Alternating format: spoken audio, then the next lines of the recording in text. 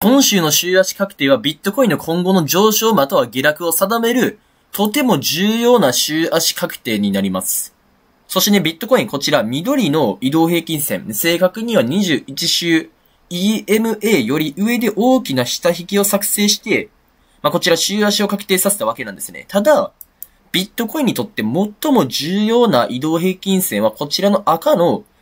20週移動平均線です。で、今20週移動平均線とはね、まあ、どういった移動平均線になるかをね、まあ、過去のチャートを見てね、軽くね、見ていきたいと思うんですけど、まあ、このようにですね、ビットコインが20週移動平均線より上で推移するか、下で推移するかによって、その後のビットコインの相場の命運がね、定まるわけなんですよね。まあ、こちら見ていただいてわかる通り、2017年はこちらね、20週移動平均線をサポートとして、まあ、このようにホールドして、サポートして毎回確認してホールドすることが、成功していきました。成功していって、こちらね、最終的に大きな上昇がありましたが、こちらね、20週移動平均線終わってから、レジスタンスとして引き続き、拒否し続けてたんですね。そして1年ぐらいの下降相場ね、20週移動平均線より下での下降相場。上での上昇相場、下での下降相場を終えてから20週移動平均線をブレイクして、まあ、その後ね、2019年のね、まあ、3000ドル付近から1万4000ドルのね、またね、ビットコインが、まあ、再度、まあ、高値を目指していくであろうって言ったね、そういったね、憶測がね、当時立てられていました。しかし、ビットコインは20週移動平均線をサポートとしてホールドすることに、まあ、失敗したわけなんですね。その失敗した後にどうなっていったかと言いますと、このようにレンジがね、継続していきました。しかし、20週移動平均線を連続として、まあ、サポートですよと、こちらね、投資家に証明することができた後に大きな上昇がね、このように生まれていきました。はい。そし20週移動平均線終わってからね、このように下降相場がね、始まって、2023年に20週移動平均線をブレイクしてからこのように上昇相場が始まりました。そしてついに、このね、1年以上にわたる20週移動平均線をね、ビットコインはこの20週移動平均線より上で、まあこちらのね、期間を含めないのであれば、まあ約ね、1年以上、こちらね、推移してたわけなんです。20週移動平均線より上で。そしてついにこの20週移動平均線を割ったわけなんですね。はい。で、なんでこれが下目線的なのか。まあ、過去のね、チャートを見ていきますと、こちら20週移動平均線、赤の20週移動平均線を割ってから、まあ、下降相場がね、スタートしていったことがね、わかると思います。で、こちらですね、まあ、例外があるんですけど、緑の21週 EMA。例えばここですけど、まあ、5月ね。5月にこちらね、赤はこのように細かく見ていったら割ってるんですけど、20週移動平均線は。ただ緑の21週 EMA は、サポートとしてホールドすることに成功しています。で、ホールドした後に上がっていきましたが、こちらで割ってしまってます。で、その後、再度ブレイクして、上昇が継続していってるわけなんですけど、じゃあここでの20周移動平均線ブレイク、そして21周 EMA をホールドしているわけですけど、ここと一体どういった環境が違うのか、これが最も、はい、皆さんがね、まあ考えられることだと思います。チャート的に見ていきますと、全く同じですよ。状況的に。20周平均線をこのように週足確定で割りました。そして緑の21周 EMA はこのようにまだホールドしてます。だったらこのまま上昇していく可能性はあるのではないのかと、そうね、考える方がいると思うんですけど、はい、これはね、これがテクニカル分析だけでは、一つの側面だけからでは分析できない理由なんですよね。例えばテクニカル分析だけでは、まあ、このようにですね、あ、状況が同じだから、パターンが同じだから、このまま上昇していくだろうと、そう考えるわけなんですよ。私もね、テクニカル分析のみはね、2年ぐらい前信じてたわけなんですけど、ただテクニカル分析だけでは、限界があることに気づいたんですよね。じゃあ、だったらどのようにしてそこをね、そことか天井を見上げたらいいのか私考えたわけなんです。そこで私が使ってるのが大衆心理なんですね。結局相場っていうのはですね、人々の心理によって作成されているわけです。例えばですけど、2023年の1月には、まあ、ビットコインがね、まだまだ下がるであろうとそう考えてた人がね、ほとんどだったんですよね。ただ、ほとんどだったんですが、最終的にはね、ここが底打ちだったわけなんですまだまだ下がるとね、ほとんど、もう99%のインフルエンサー、99%。ただ、私はここがビットコインの底であろうと考えたわけなんですよ。そしてなんで、ここが底であろうと思ったかと言いますと、まあ、簡単に、簡単に言いますと、全員が下目線だったから。で、これを聞いていったら、え、これ全員が下目線だったら、じゃあ逆に上がる。全員が運営線だったら逆に下がるのって、そんな全然理論的じゃないじゃんって皆さん思われるかもしれませんけど、それは間違いなんですよね。これは理論的なんですよ。で、どういう意味で理論的かと言いますと、で、これよくね、理論、理論的の言葉としての定義。これをまずね、再度ね、問いただす必要性があるんですけど、理論的の定義。理論的とは多分おそらく一般的な考え方としては、言葉として通用することができる。辻綱が合ってるっていうのを理論的だ、理論的とね、言うことだと思うんですけど、たださっきの私の説明だとおそらくね、腑に落ちない、方がほとんどだと思うんですよね。それはどういうことかって言いますと、私が言ってることが間違ってるのか。っていうわけではないんですよ。私が言ってることを合ってるか間違ってるかさておき、それを理解できていない。理解できないからこそ理論的だと言えない。自分が理解できないから。ただ私から説明すると理解できるんですよね。はい。ので、その、誰がその理論的なのか、ど、だ、どの主観に立つのかが、理論的なのか理論的じゃないのかっていう意味になってくるんですけど、ただ、はい。おそらくね、これを言葉で言っても腑に落ちないと思うんですよ。じゃ、だったら、理論的、まあ、一般的に言う理論的ではないって言ったことになるっていうことですよね、これは。だったら、じゃあどのようにこれを伝えていけばいいか、いいかと言いますと、もう経験して、やっていくしかないっていうことですよ、これは。経験してやっていくしかない。そして私が言う、こういう動画で言うヒントとかを当てにして、自分で物にしていくしかないんですよ。で、なんで、はい。だいぶね、まあ、論点からずれてないですから、20種移動平均線だけでは天井か天井じゃないかを定める方法はできないが、この天井心理、私は天井心理、相場の心理をもとに、天井とかそこをね、見極めた、見極めます。そして皆さんご存知の通り、私は、この7万3000ドルあたりが、ま、天井打ちしてると思ってるんですよね。もう天井打ちしてるってこともずっと話してます。そして、ま、テクニカル分析的には、まあ、誰がどっからも見てもチャートで見えるんで、目に見えるものって分かりやすいです。ただ、こういった感覚的なものとしては、理論的だと、まあ、捉えられないね、傾向が高いんですよね、残念ながら。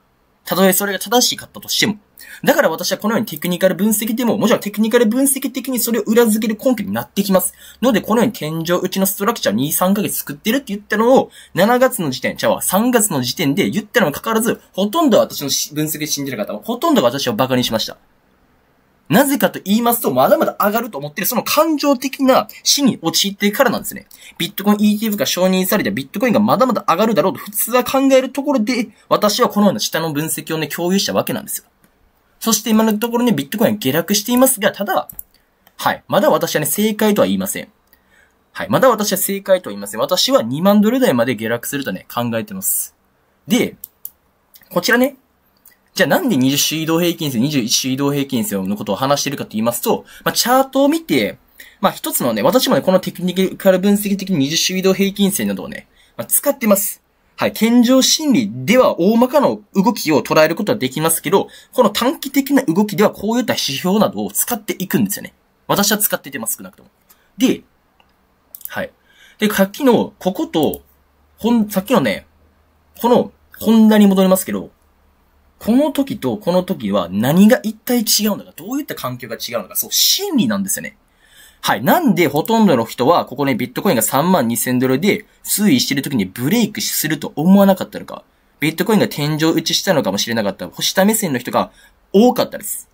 ただ、今ではほとんど全員、どの X どこで見てもビットコインがまだまだ上がると言ってるんですよ。そこが違いなんですね。逆になんでここではほとんどがまだまだ下がる、終わった、ビットコイン終わったって言ったと思いますか？そう考えたと思いますか結局ここが一番いい買い時で、ここもね、いい買い時だった。ここほどの悲観ではなかったけど、ここもいい買い時だった。そしてここで全員が一致団結して、あ、賛成、上って言ってるわけなんですよ。どういうことかと言いますと、こういった声が X で聞こえてる時点で、もう、ソーシャルメディアで聞こえてる時点で、もう、全員が上目線。全員とは言いませんけども、99%が上目線。関数の大半以上が上目線だということを示してるんですよ。X 開いて、一番初めに言うポストが上目線。もう上目線なんですよ。もう統計学上、その確率を見てる時点で上目線なんですよね。逆に、ここでさっき見た通り、ほとんどが下目線。時、一番相場にはこういったね、法則性があります。一番、恐怖の法則性で格言があります。恐怖の時こそ買って、欲望の時にこそ売れ。はい、こういった格言があって、私で実際にこれを、まあ、研究したわけなんですね。自分のお金を使って研究しました。もちろん失いましたし、儲かりました。いろいろありましたが、そこで見つけた私は、ね、何かを見つけたわけなんですね。それを私は YouTube で X にて公開して実際に私のポジションね、公にしてるポジションで公開します。そしてこのビットコインのポジションで約3ヶ月ホールドします。で、この3ヶ月ホールドしてるポジションですが、私はまだこのビットコインのポジション売りません。でも売ることができハンドル台までこのショートポジションをホールドしていきます。私が正しいことをね、皆さんに証明するためです。はい。ということでね、時間かかるんでね、ビットコインが下落するまでには。はい。まあ、そんな感じでね、20週移動平均線。こちらまあホールドしてますけど、まあ、この時と、まあ、この時の、この時、全、違いますは忘れないでください。だから、テクニカル分析にチャート的に見たら、同じですよ。パッと見たら。ただ、その裏の投資家の心理が全く違うんですよ。そこですよ、重要なのは。見た目の、見た目だけではなく、本の題名だけではなく、中身を見て、比較しよう。それと同じですよ。チャートだけ見るんじゃなくて、チャートの中身ですよ。そうなんですよね。チャート、そう。はい。それ分かりやすか、分かりやすい言葉で、言葉ですね、これ。自分でもね、いい言葉選べたなと思います。チャートの中身を皆さん、見てください。ということでね、まあ、単価5000ドル付近あると思ってます。はい。20週移動平均線までね、挑戦して、そっからね、下落してくるパターンが濃厚だと思います。しかし、もし20週移動平均線で上で週足を確定するのであれば、歴史的に見ていくと、まあ、その後ですね、見ていただいてわかる通り、まあ、上昇がね、その後ね、生まれてくるね、傾向があるんですよね。20週移動平均線で上で、まあ、クローズしたらその後ね、上昇が生まれてくるっていうね、そういったね、傾向があるんで、